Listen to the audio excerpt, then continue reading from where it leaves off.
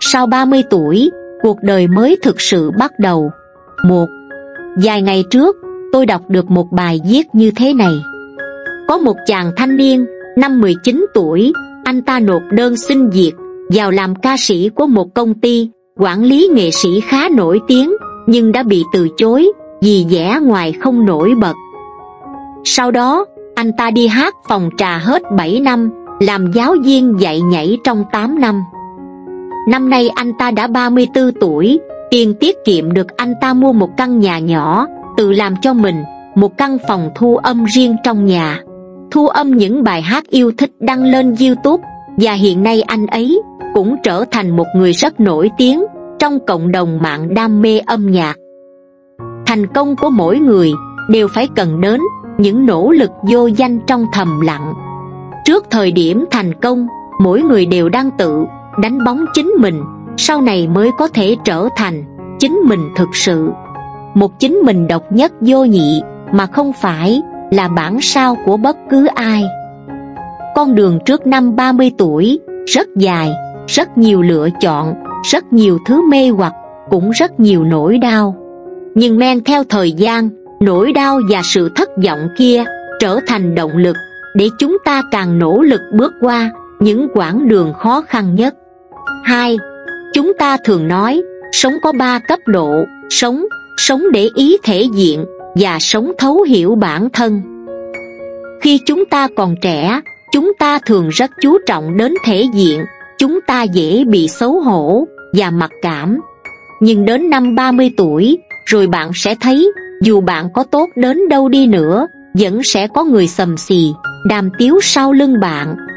Thế nên làm sao để thấu hiểu chính mình, làm tốt chính mình là được. Tôi từng xem một video ngắn có tựa đề Tôi, 30 tuổi rồi. Ở tuổi 30, nhân vật chính quyết định từ bỏ công việc ổn định để theo đuổi ước mơ trở thành một nhiếp ảnh gia. Từ 20 đến 30 tuổi, bạn đã thử qua nhiều lựa chọn khác nhau, nhưng cái nào là tốt nhất cho bạn? Nhân vật chính nói, qua 10 năm, cô ấy đã bắt đầu thực sự hiểu rõ chính mình rồi, cô ấy xây dựng cho mình một phong cách riêng, không còn bắt chước người khác nữa, cô ấy tự tin và hành động theo suy nghĩ của bản thân. Trước 30 tuổi, chúng ta là những nhà thám hiểm cuộc sống. Sau 30 tuổi, chúng ta có đủ khả năng và tự tin để chọn cuộc sống mà chúng ta muốn. Giống như cô gái trong đoạn video, cô ấy nói với bố mẹ mình, đây là con đường con chọn, ba mẹ không cần lo lắng, con có lòng tin vào chính mình.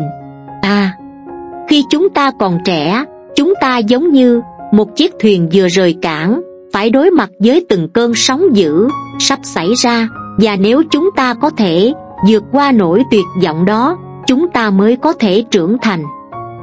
Trước 30 tuổi, chúng ta đang trải qua hàng ngàn thử thách, thất nghiệp, công việc lương thấp, bận rộn, bạn bè phản bội, người thân không bên cạnh, bị chỉ trích. Nhưng sau 30 tuổi, tất cả mọi điều thị phi trong xã hội đều không quan trọng bằng những thứ như gia đình, sức khỏe, tiền.